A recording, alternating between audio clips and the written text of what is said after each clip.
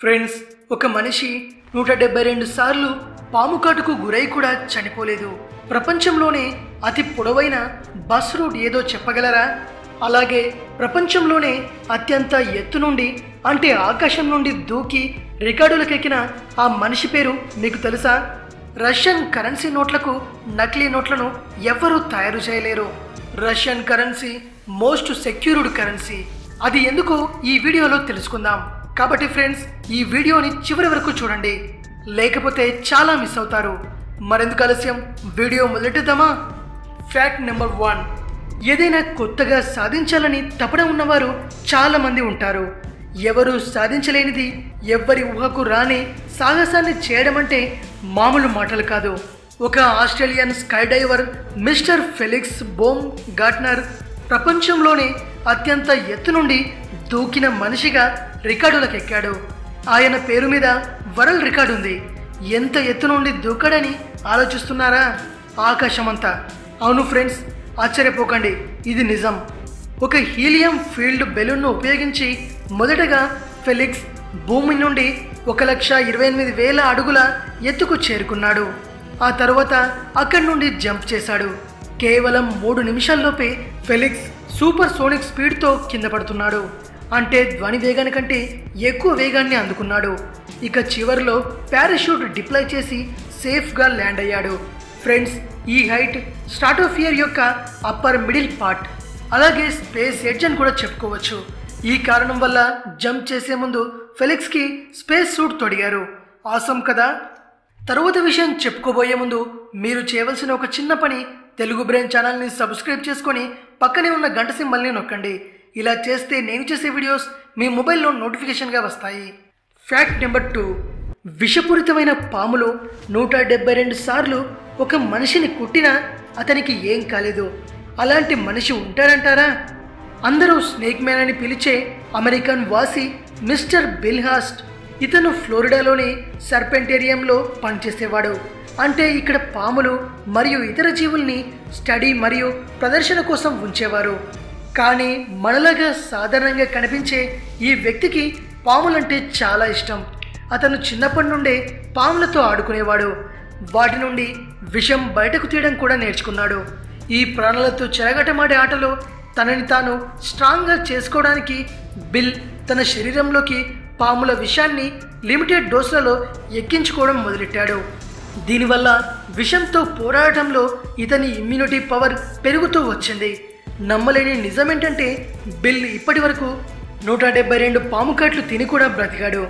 ఇప్పటి వరకు ఎంతోమందికి తన రక్తాన్నిచ్చి వారి ప్రాణాలను కాపాడాడు. ప్రపంచంలోనే ఎక్కువసార్లు పాము కాట నుండి స్నేక్ బైట్స్ నుండి సురక్షితంగా బయటపడిన వారిలో Guinness world record Bill Haast పేరు మీదే ఉంది. ఆ తరువాత రకరకాల పాముల విషం పైన రీసెర్చ్లు చేయడానికి కోసం తన సొంత కంపెనీ పెట్టాడు. తన జీవితాన్ని మొత్తం ఈ పాముల మధ్యలోనే గడిపాడు mister Bill Haast. Fact number three ప్రపంచంలోనే అతి పొడవైన బస్ రూట్ ఏదో చెప్పగలరా? అవును friends the world's longest bus route Kolkata నుండి లండన్ వరకు. ఈ బస్ కలకత్తాలో స్టార్ట్ అయ్యి ఢిల్లీ అమృత్సర్ బాగా border Lahore Kabul Tehran Istanbul Turkey Germany Austria మరియు ఫ్రాన్స్ల గుండా వెళుతూ లండన్ చేరుకుంటుంది. ఈ డిస్టెన్స్ ఏడు వేల తొమ్మిది వందల కిలోమీటర్లు. ఈ రూట్లో బస్ సేవను ప్రారంభించింది సిడ్నీకి చెందిన ఒక company Albert tours and travels. పంతొమ్మిది వందల యాభై ఏడులో ఈ బస్ సర్వీస్ స్టార్ట్ చేశారు. పంతొమ్మిది వందల డెబ్బై మూడు వరకు నడిపారు.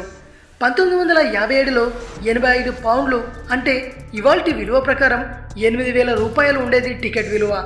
పంతొమ్మిది వందల డెబ్బై మూడులో బస్ సర్వీస్ క్లోజ్ అయ్యే వరకు టికెట్ రేటు పెరిగి నూట నలభై ఐదు పౌండ్లు అయ్యింది అంటే పదమూడు వేల ఐదు వందల రూపాయలు. ఆ కాలంలో అతి పొడవైన బస్సు ప్రయాణం ఇది ఇంత దూరం బస్సులో ప్రయాణించడానికి నలభై ఐదు రోజులు పడుతుంది. Fact number four. తొమ్మిది నవంబర్ రెండు వేల పదహారున పిఎం మోడీ గారు బ్లాక్ మనీని అరికట్టడానికి నోట్స్ను బ్యాన్ చేశారు.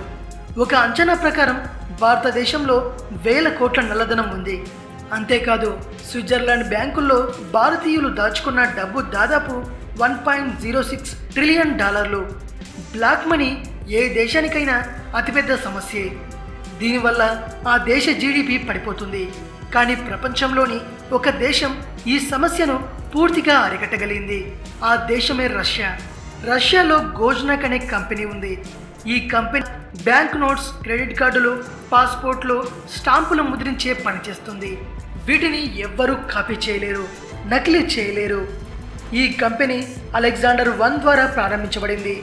అప్పట్లో నెపోలియన్ టూ పద్దెనిమిది వందల పన్నెండు పద్దెనిమిది వందల పదిహేడులో రష్యాలో భారీ సంఖ్యలో నకిలీ నోట్స్ను చలామణి చేశారు. ఆ సమయంలో అప్పటి ఫైనాన్స్ మినిస్ట్రీ కొన్ని ఆదేశాలు జారీ చేసింది. అదేంటంటే ఎవ్వరూ కాపీ నకిలీ చేయలేని నోట్స్లను ముద్రించాలని. పంతొమ్మిది వందల పంతొమ్మిదిలో ఈ కంపెనీకి గోజ్నాక్ అని పేరు పెట్టారు. గోజ్నాక్ రష్యా గవర్నమెంట్ నడుపుతున్న కంపెనీ. ప్రస్తుతం ఈ కంపెనీ పదకొండు వేల టన్నుల బ్యాంకు నోట్ల పేపర్లను తయారు చేస్తుంది. అంతేకాదు ఏడు లక్షల బ్యాంకు నోట్లను యాభై లక్షల నాణేలను నాలుగు కోట్ల పాస్పోర్ట్లను నలభై ఐదు కోట్ల స్టాంప్లను ముద్రిస్తుంది. నోట్లను ముద్రించే ప్రపంచంలోని గొప్ప కంపెనీల పేర్లు డెలారో గిసికే డెవిరియంట్ క్రేన్ మరియు వీబట్ ఇవన్నీ ప్రైవేట్ కంపెనీలు. గోజ్నాక్ ఒక్కటే గవర్నమెంట్ కంపెనీ. గోజ్నాక్ ప్రింట్ చేసే నోట్లను బయట దేశాలకు కూడా ఎక్స్పోర్ట్ చేస్తూ ఉంటారు. ప్రస్తుతం ఈ కంపెనీ ఇరవై ఐదు దేశాలకు నోట్లను ముద్రించి పెడుతుంది. పది సంవత్సరాలుగా ఇండోనేషియా ఈ కంపెనీతోనే తమ దేశ కరెన్సీ నోట్లను తయారు చేయించుకుంటుంది. గోజ్నాక్ డైరెక్టర్ ఏమని చెప్పారంటే ప్రపంచంలోని చాలా దేశాలు తమ దగ్గర కరెన్సీని ముద్రించుకుంటాయని చెప్పారు. గోజ్నాక్ దగ్గర ఉన్న ఎక్విప్మెంట్ చాలా ఖరీదైనది. ప్రపంచంలోని కొన్ని చిన్న దేశాలు ఈ స్టాండర్డ్ ఎక్విప్మెంట్ను ఆఫర్ చేయలేవు. అలాగే కొన్ని పెద్ద దేశాలు కూడా గోజ్నాక్ దగ్గర నోట్లను ముద్రించుకుంటాయి. గోజ్నాగ్ ముద్రించే నోట్లను నకిలీ చేయడం అసాధ్యమని చెప్పవచ్చు. గోజ్నాగ్ ముద్రించే నోట్లలో చాలా సెక్యూరిటీ ఫీచర్స్ ఉంటాయి. అందుకు ఈ నోట్లు మూడు రకాల సెక్యూరిటీ మెజర్స్ను దాటాల్సి ఉంటుంది. ఏ కరెన్సీ నోటును తయారు చేయడానికైనా అత్యంత మూల్యమైనది పేపర్. గోజ్నాగ్ తమ కరెన్సీ నోట్లను ముద్రించడానికి కాటన్ పేపర్ను వాడుతుంది. ఇది స్పెషలైజ్డ్ కాటన్ పేపర్. దీన్ని ఎక్స్క్లూజివ్గా గోజ్నాగ్ మాత్రమే తయారు చేస్తుంది. నకిలీ నోట్లను తయారు చేయాలనుకునే వారికి ఈ కాటన్ పేపర్ దొరికినా దీన్ని కాపీ కొట్టడం వారి వల్ల కాదు. ఈ ప్రింటింగ్ మూడు స్టేజ్లలో ఉంటుంది. మొదటి స్టేజ్లో నోట్లపైన వాటర్ మార్క్ హిడెన్ పిక్చర్స్ బాగా చిన్న చిన్న స్పెసిఫిక్ ఫిగర్స్ను ముద్రిస్తారు. రెండవ స్టేజ్లో వీటిని మైక్రో ప్రింటింగ్ చేస్తారు. ఇందులో త్రీ పిక్చర్స్ ఉంటాయి. ఈ మెషిన్లు గోజ్నాక్ దగ్గర మాత్రమే ఉన్నాయి.